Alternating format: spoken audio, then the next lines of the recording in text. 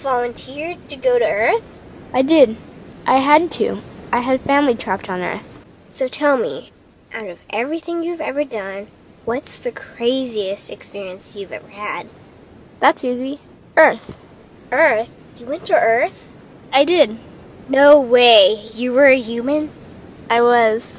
Wow. Are the stories about Earth true? Were they really trapped on Earth? Some were. I know because I was one of the volunteers. Wait a second. You volunteered to go to Earth? I did. I had to. I had family trapped on Earth. But how could you get trapped on Earth? You had to be there to understand. On Earth, you wouldn't remember anything. What do you mean you wouldn't remember anything? I mean, you would have no memory of anything. You wouldn't even remember existing before Earth. What? How is that possible? It was designed that way. It was brilliant. To dive as deeply as possible into such ignorance, such darkness, and still find your way back to remembering who you were, that took true mastery. Wow. I still can't believe you went to Earth. Tell me more. Well, Earth had its own set of laws that everyone agreed to experience, like gravity. What goes up must come down, like linear time. Day is followed by night. Time? What's time? You know how when we think of something it manifests instantly? Well, on Earth there was a delay. The delay is what made Earth so difficult. Interesting. Time. So tell me more.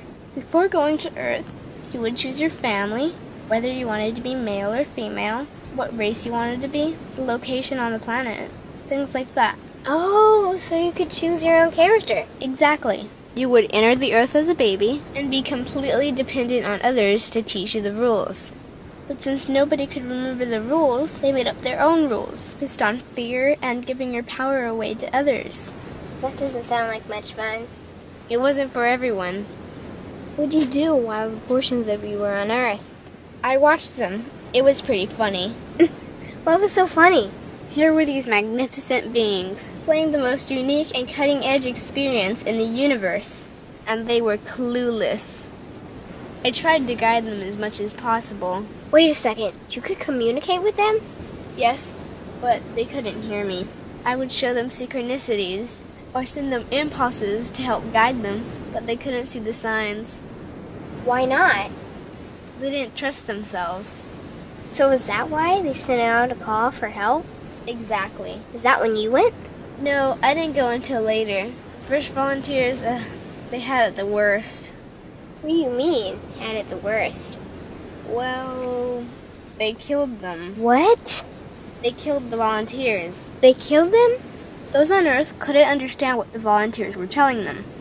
The idea that they were equal to the volunteers scared them. What were they telling them? Common sense stuff like all the answers you seek are inside you. Everything I can do, you can do and more. So they killed them? And then they twisted the volunteers' message and created even more fear. What do you mean, more fear? Like the message, God is inside you, was turned into, you are separate from God. The message, all the answers you seek are inside you, was twisted into, you can't trust yourself. And they believed it? It was out of control. How could they believe that? You had to be there to understand. Did you know they actually believed that they were the only intelligent life in the universe? now that's funny. Pretty crazy, I know. So then what happened?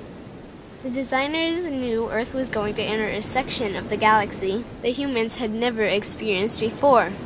A section filled with a frequency that might be able to reconnect the human's DNA. What was wrong with their DNA? It didn't work anymore. The thing is, their DNA was how they connected with their higher self.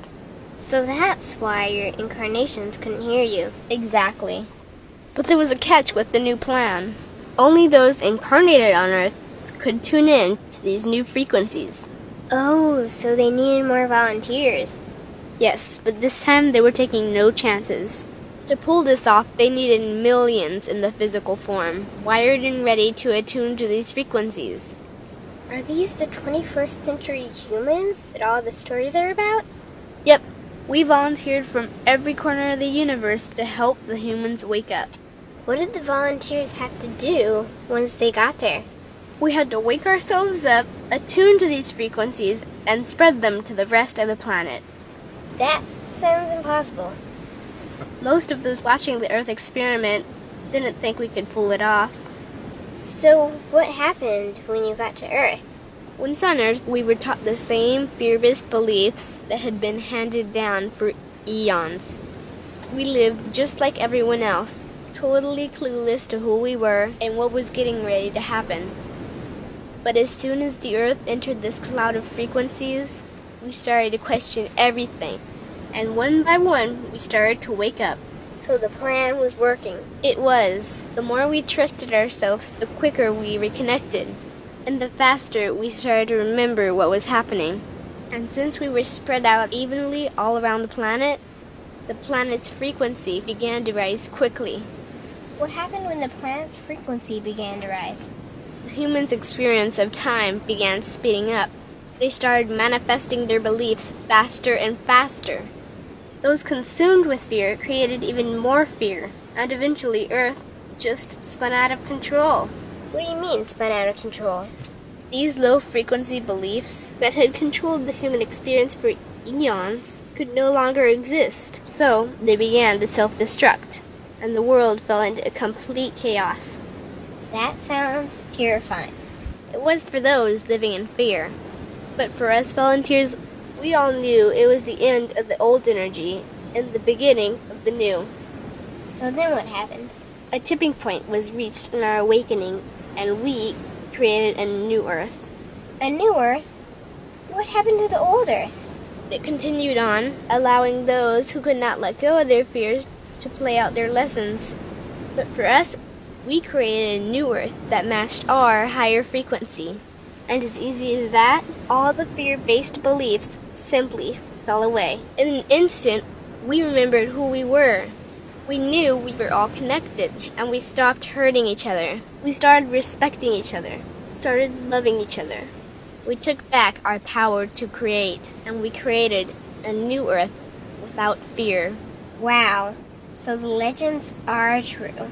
What an incredible experience that must have been. Nice work. Thanks.